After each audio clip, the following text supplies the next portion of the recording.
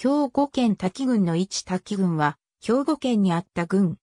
1879年に行政区画として発足した当時の郡域は、現在の丹波篠山市にあたる。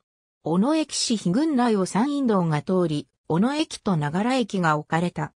また、丹波篠山市雲部にある、両母山高地雲部車塚古墳は、古墳時代中期前半の築造と推定されており、この地に中央と直結した大きな勢力が存在したことを示している。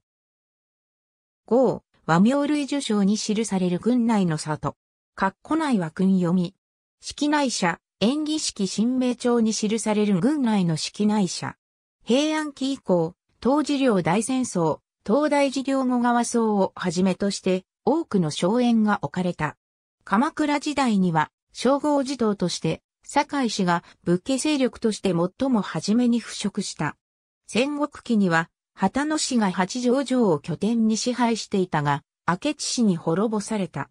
近世には、八条城に返しの山城が築城され、滝郡一円を篠山藩が支配した。